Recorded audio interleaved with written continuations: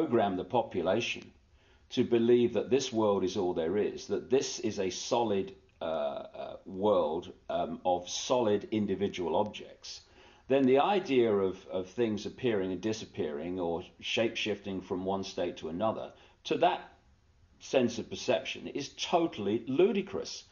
But once you introduce the suppressed knowledge, which is that this world is not solid, and uh, what what we're living in is basically a, a uh, symbolically a radio station in terms of all the radio and television stations broadcasting to this place now are all um, existing in the space that I'm sitting in.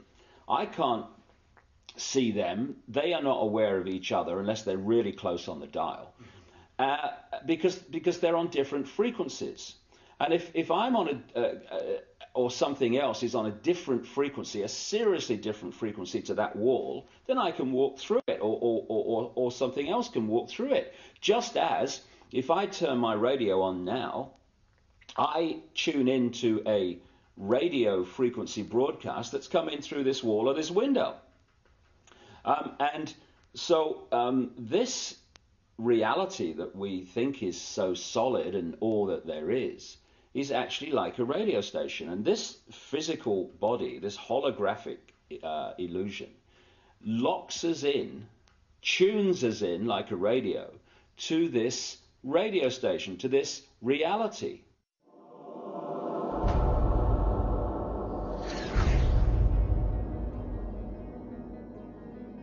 After 200 years of Kabbalistic magic and bloodthirsty crusades, wantonly murdering children, women, and engaging in ritualized sodomy, the French Knights Templar were rounded up, tortured, and executed. Many confessions told of the Knights Templar monks ritually sodomizing each other, invoking evil spirits, and implanting these spirits into animals such as cats.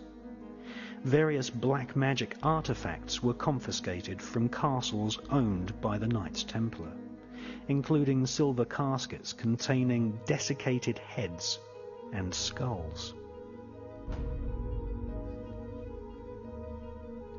The Knights Templar referred to these heads as Baphomets.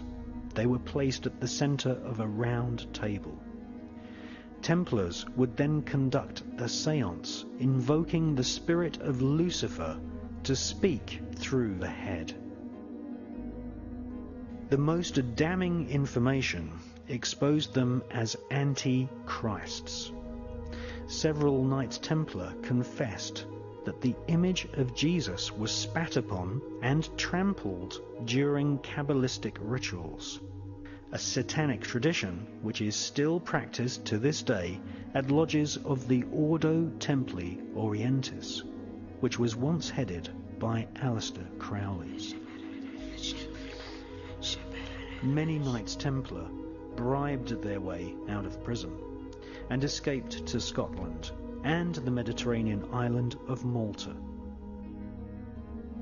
They first renamed themselves the Sovereign Knights of Malta and then, after establishing trade routes to North America long before Christopher Columbus, they re-emerged in Scotland, calling themselves Freemasons. All versions of Freemasonry, Rosicrucianism, the Skull and Bones, the Palladian Rite of Freemasonry, Co-Masonry, Scottish Rite Masonry, the Ku Klux Klan and Crowley's Ordo Templi Orientis are derived from the original Kabbalistic rituals of the Knights Templar. The Kabbalistic banishing ritual of the pentagram was in part performed by Queen Elizabeth II during her coronation ceremony in 1952. The ritual was based on the lesser banishing of the pentagram ritual designed by Aleister Crowley for the Golden Dawn secret society.